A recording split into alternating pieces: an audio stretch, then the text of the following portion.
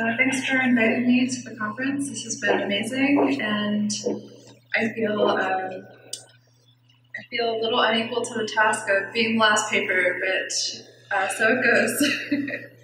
um, so, uh, since its launch in 2003, um, Second Life, uh, which is a virtual environment um, in which its content has mostly created by its in-world denizens it's become a place for people to play, shop, and also practice their religion.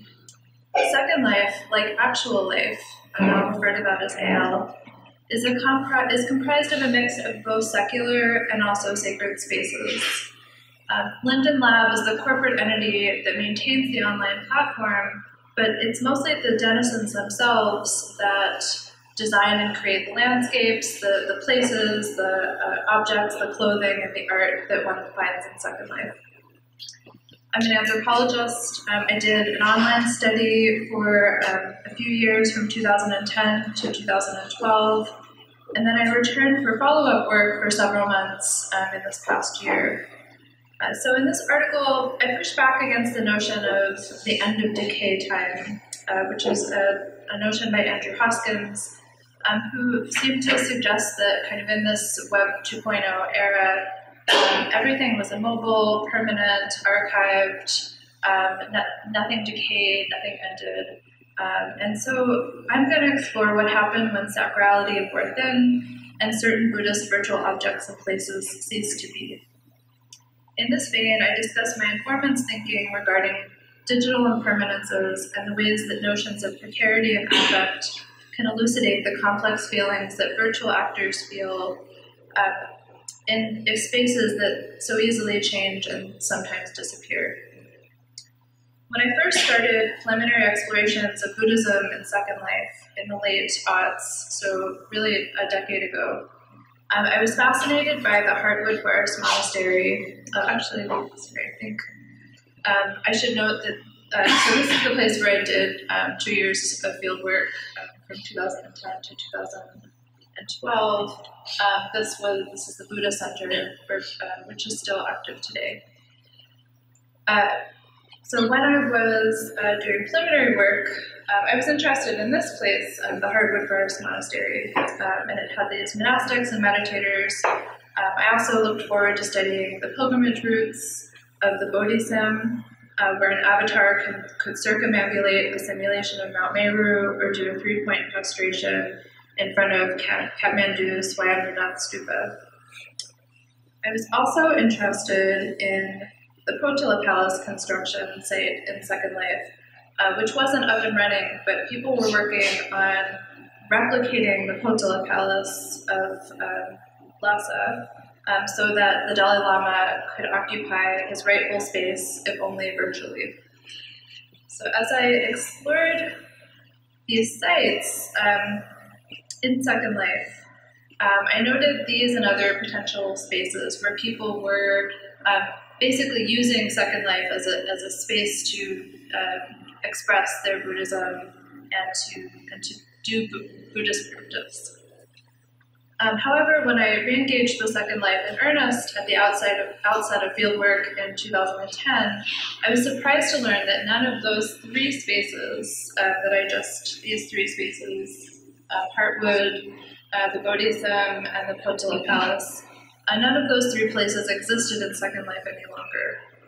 Um, so in the intervening months before I started fieldwork, they'd each run out of steam, they'd collapsed due to the unmet need for more donations, um, so pieces of those builds may still be out there in code, um, maybe on file at Linden Lab, or maybe in builder inventories, but those places were no longer accessible to me. I couldn't visit them, I couldn't do field work at them. Um, so they become offline non-places or no longer places. Uh, their virtuality made even more explicit by the ease with which they disappeared. Tom Boellstorff is an anthropologist that has done a lot of work in Second Life, and um, he's noted that um, you can't write as if you're representing a subculture that's fixed in time. And it's especially important for those of us working in virtual spaces uh, to uh, to kind of write in the in the past tense, because uh, he writes, "quote All ethnography inevitably becomes history." Unquote. Um, and Gregory Grieve, um, who is uh, here and who literally wrote the book about um, Buddhism and Second Life, um, he noted in his book, uh, quote, unlike the actual world where abandoned buildings leave ruins, in Second Life all that remains is error code, unquote. So in order to contextualize the slew of Buddhist deletions, it is really important to note um, that there were spaces that, that persisted and thrived. So I don't, you know, I'm, I'm interested in this paper looking at deleted spaces. But it's really important to note that places like the Buddha Center, where I did my work, um, and places like um, Hoben, where Gregory Grieve did his work, those places are thriving. They have communities. They are still they still exist ten years later. Um, so I don't want to kind of give you the wrong idea. I just um, I want to talk about something a little different, which is just what it means that some of these places that that people lovingly made are no longer. Uh, so, and I and I'm just arguing that there's some anthropological significance to that. In the full-length paper that I wrote, um, I discussed the three cases of the deleted Buddhist places in more detail: the Potala Palace project, the Heartwood Forest Monastery, and the Bodhisattva and, and I don't have time to go into detail about them here, except to say that the invisible, um, deleted, built, and then unbuilt non ruins, um, as well as abandoned non occupied spaces standing in virtual spaces, they demonstrate a kind of virtual ephemerality that's no less real than actual life precarity, although perhaps moving at a faster tempo. In actual life, precarity is increasingly the common thread of the neoliberal post-Fordist globalized moment. Um, and in this uh, section, I'm going to argue for a double precarity for Second Life actors. The worlds being built in Second Life are entangled in the actual life instabilities that builders experience in their embodied non-virtual lives. But the virtuality of Second Life makes for an ease of disappearance that makes their virtual worlds and work especially precarious. The modern Buddhist, too, then, from the global north or south, is now bothered by a newly distinguishable patina of instability and a lack of solid ground upon which to build a stable and lasting future. Buddhist actors in Second Life must contend with precarity in their everyday lives on and offline.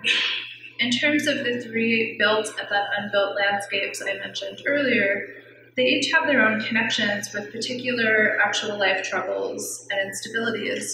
For example, the Potala Palace was inspired by the builder's sadness and frustration that the Tibetan nation state eh, was still incorporated within the boundaries of the modern Chinese state. And each of the disappeared fields, including the Bodhisattva, were affected deeply and fatally by the capitalism embraced by the for-profit corporate world of Linden Lab, so each of these user generated builds were spurred by the desire to create something beautiful and Buddhist, um, and they were ultimately discontinued, discontinued due to lack of funds. So, how much faster, more fluid, and more precarious are our virtual landscapes? The Second Life actor faces uh, what Anna Tsing uh, called the conditions of precarity, uh, quote, life without promise of stability, unquote and they face it in actual worlds and virtual worlds as well. So exploring the landscape of Second Life has always meant exploring what a particular place looks like at that moment. Um, so still as used to change in Second Life as I've become, I was taken aback when a place that I was familiar with and felt a connection to winked out of existence. Um, so this is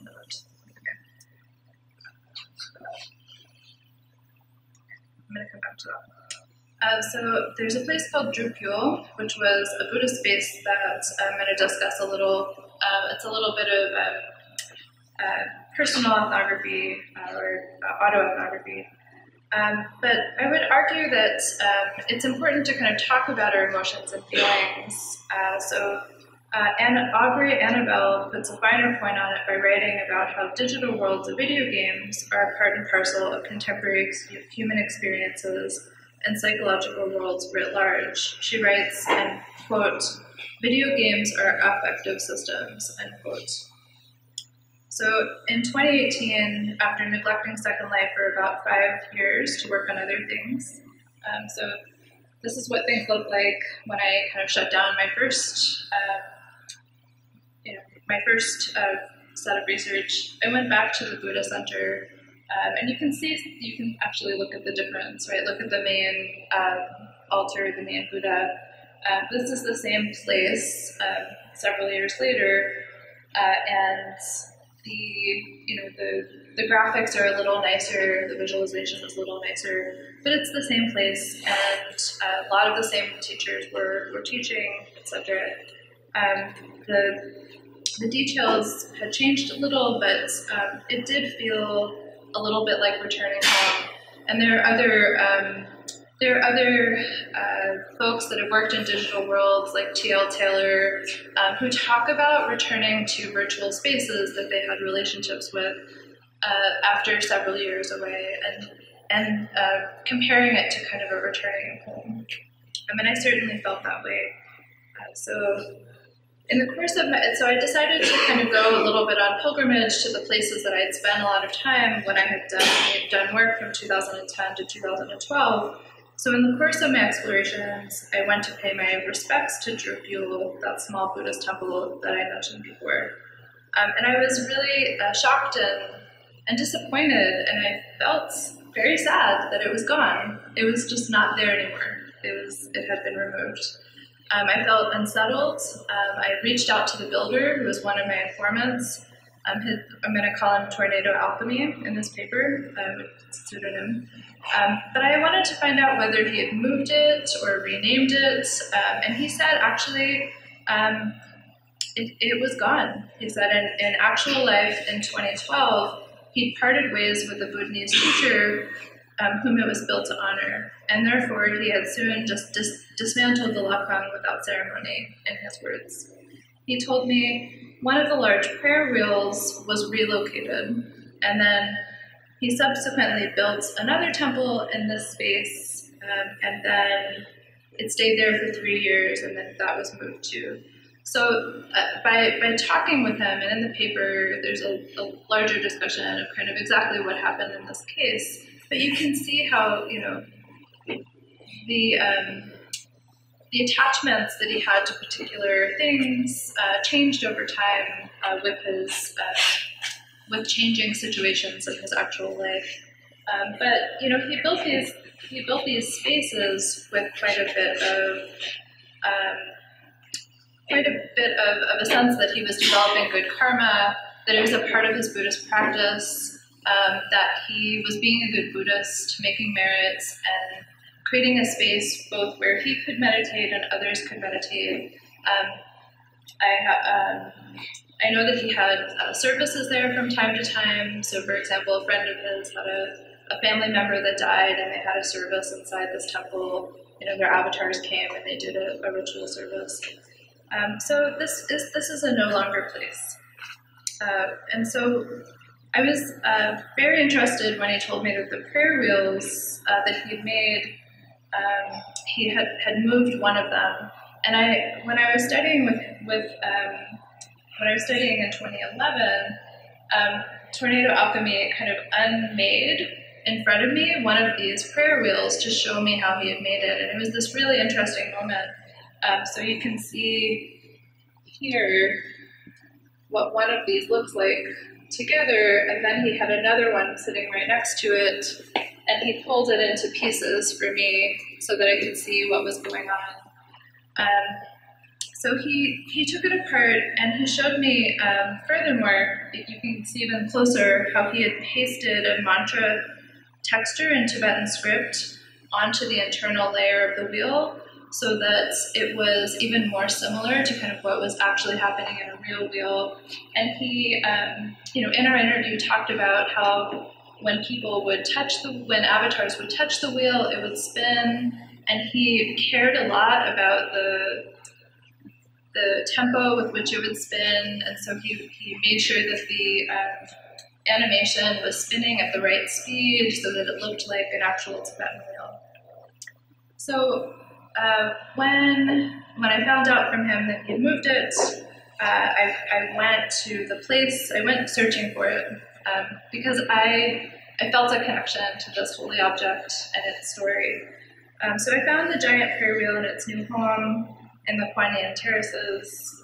Um, so Uh, he had uh, you know, situated it kind of next to um, a waterfall and next to a cherry tree, and um, he had uh, uh, basically said that he ha- he had um, a feeling that it, it, was important to preserve. So even though he had taken apart the Lechem, um, it was important for him to maintain the wheel.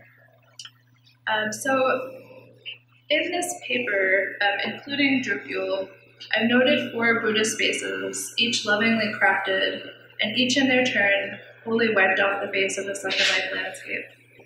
It's tempting to compare these spaces to a Tibetan sun mandala or a Japanese um, Zen Zen garden, spaces which are meant to be impermanent and are thus intended to remind the practitioner of the truth of impermanence. But it's worth noting that these spaces were not built in that spirit. These builds were not supposed to be summarily unbuilt. They were built or, or worked upon to be used, explored, appreciated. Um, they were supposed to last longer than they did. The, the, deletions were a direct response to a kind of failure of these spaces. Um, the Buddhist notion of emptiness in Buddhist discourse, of course, um, as you all know, means that there's nothing essential about anything, everything is in process and in flux. Um, the notion of impermanence is key to emptiness since everything changes fluidly from moment to moment. Since impermanence is a key theme in Buddhist philosophy, it's not surprising that Buddhists in Second Life have engaged with the notion of emptiness in their discourses about Second Life.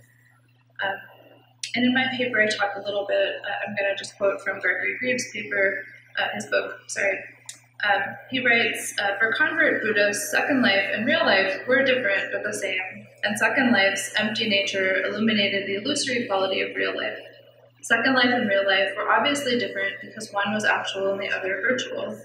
They were similar, however, because both Second Life and real life were conditioned conventional realities, those mutually constituted and historical, historically contextualized material discourses, practice, and objects by which people construct, interpret, and manage their everyday lives. Unquote. Yet his informants did not read the emptiness of all things as a reason to disrupt and disrespect the created Buddhist environments that they built for the community. Um, their organizers built these spaces carefully, they treated them with respect. Um, and in his book, um, he talks about how the particular landscape of the Japanese Zen um, community that he was working with, uh, they uh, they built this very carefully. They had a very kind of romanticized um, pre-modern Asian landscape, um, and he and, and, I'll quote: um, "Visual elements dominated buildings, mountains, forests." End quote. Um, they had uh, they had a, a, a, garden, right? They had a Zen garden uh, on the grounds of this uh, mountain retreat. But the community itself shouldn't be perceived as some sort of digital Zen garden um, it's not itself supposed to be a sandbox that's changing in order to be, uh, in order to show uh, impermanence. It's a space that res- residents occupy and use, and like most communities in actual life, its denizens would be unhappy to see it disappear. Uh, religious studies Daniel Veidlinger has argued that the medium of the internet lends itself to Buddhist thinking. Um, he wrote, quote, the more time one spends on the internet, the more likely one is to have an affinity for Buddhism, end quotes. While I'm not convinced that the internet is creating more Buddhistically inclined people, I do see that online sociality may connect nicely with some Buddhist ideas and may reinforce those notions for Buddhists online. Um, Veidlinger uh, notes, quote, the internet affords a conception of the individual self as illusory, replacing an unchanging self with a sense of interconnectedness and interdependence. And these ideas dovetail nicely with Buddhist notions of anatman, no self, and pratitya, samutpada, dependent origination, and are likely to play an important role in the attractiveness of Buddhism to the wired segments of society. For Buddhists who choose to reflect upon the synergies between Buddhist ideas and experience of, of virtual being in virtual, virtual spaces, there are opportunities to use the double precarity of virtuality to think with.